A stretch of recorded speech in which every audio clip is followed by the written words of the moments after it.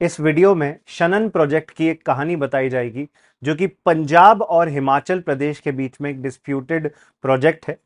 क्या है इसकी कहानी? पहली बात तो ब्रिटिशर्स के जमाने का Shanan hydro power project Joginder Nagar नाम की एक जगह मंडी हिमाचल प्रदेश के अंदर है।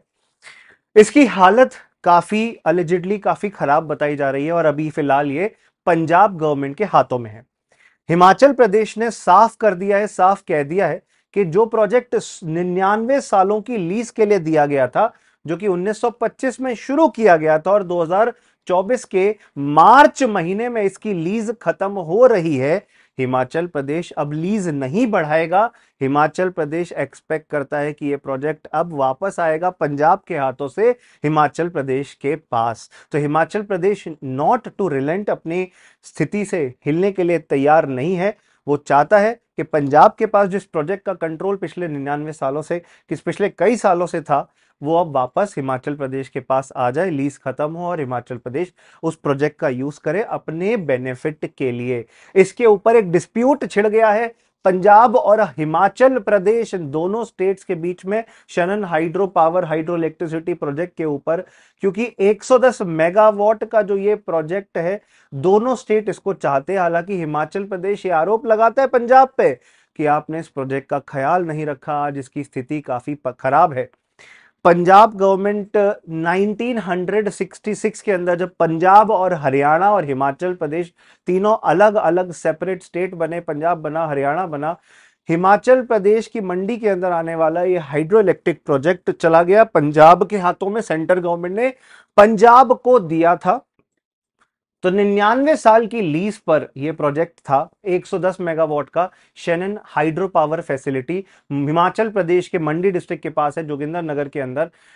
पंजाब से छिन कर 2024 मार्च में इसका जुरिस्डिक्शन आ जाएगा हिमाचल प्रदेश के पास। हिमाचल प्रदेश इस प्रोजेक्ट को यूज़ करना चाहता है।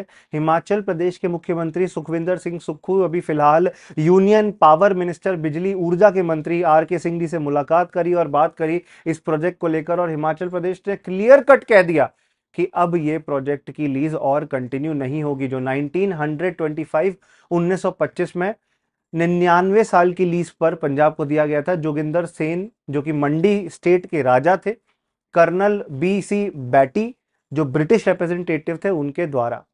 और अब हिमाचल प्रदेश वापस इसका ओनर बन जाएगा। हिमाचल प्रदेश का कहना है कि पंजाब ने इस प्रोजेक्ट का कुछ खास ख्याल नहीं रखा, जिस वजह से दोनों एरियाज़ के बीच में इशू चल रहा है। The matter might escalate into a big dispute एक बहुत बड़ा डिस्प्यूट बन सकता है, जैसे कि सतलुज यमुना लिंक कनाल के ऊपर एक डिस्प्यूट चल रहा है। ऐसे ही ये प्रोजेक्ट भी आगे जाकर दो स्टेट में डिस्प्यूट बन सकता है। तो हिमाचल प्रदेश और पंजाब के बीच में ये एक डिस्प्यूट का अगर रीजन बना तो सेंट्रल गवर्नमेंट को इन्वॉल्व होना पड़ेगा। हिमाचल प्रदेश तो चाहता है इस प्रोजेक्ट को अपने पास रखने का, क्योंकि हिमाचल प्रदेश को इससे 200 करोड़ अप्रोक्सीमेट 200 करोड़ साल का बेनिफिट रेवेन्यू हो सकता है इस सनन हाइड्रो इलेक्ट्रिक प्रोजेक्ट के द्वारा।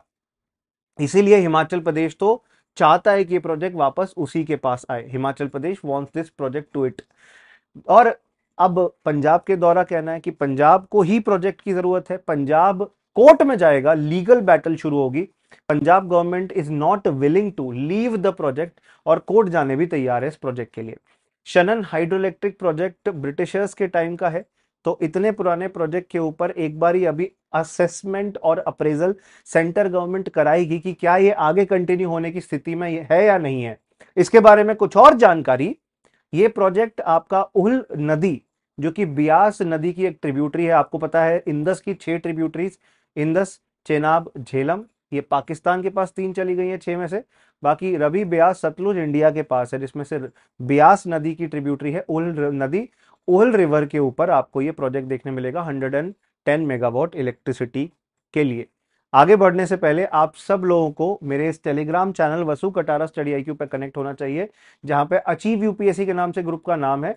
लिंक आपको वसु कटारा स्टडी आईक्यू देखने मिलेगा, जहाँ पर इस क्लास की पीडीएफ और मुझसे इंटरेक्ट करने का मौका मिलेगा। इंस्टाग्राम पे आप मुझे फॉलो कर सकते हैं, वसु डॉट कटारा के नाम से। इंस्टाग्राम पे आपको मेरी प्रोफ़ाइल देखने मिलेगी, आप मुझे फाइंड आउट कर सकते हैं। उसके अलावा आप लोग अगर यूपीएससी की तैयारी कर रहे हैं प्रिलिम्स टू इंटरव्यू बैच आपके लिए तैयार है। प्रिलिम्स टू इंटरव्यू बैच के तहत लाइव क्लासेस आपको मिलेंगी, आपको रिकॉर्डेड लेक्चर्स मिलेंगे। लाइव नहीं देख पाए तो आपको टेस्ट सीरीज़ प्रीलिम्स मेंस की बुक्स आपके घर पे भिजवाई जाएँगी। अलग से मार्केट से बुक खरीदने की झंझट आपको नहीं पालनी है, आपको बुक्स भी हम दे रहे हैं। आपको मेंटरशिप प्रोवाइड की जाएगी, जो कि यूपीएससी एग्ज़ाम प्रिपरेशन के लिए बहुत ज़्यादा ज़रूरी होती है। और सब कुछ जो कि आपको एग्ज़ाम क्लियर करने में मदद करे। 2024 का बैच आपको अगर लेना है एडमिशन तो Vasu live admission discount code use करिएगा। उनतीस हज़ार नौ सौ निन्यानवे का आपको कोर्स मिलेगा। 2025 के लिए thirty five thousand triple nine का कोर्स है। वसूल एव एडमिशन डिस्काउंट कोड यूज़ कर सकते हैं आप। आठ जून शाम छः बजे से इसकी क्लास शुरू हुई है। अभी आपने कुछ मिस नहीं किया है। इसमें ज़रूर अभी भी जुड़ सकते हैं आप। देरी मत करिएगा, इससे ज़्यादा देरी करेंगे तो आप क्लासेज मिस कर देंगे।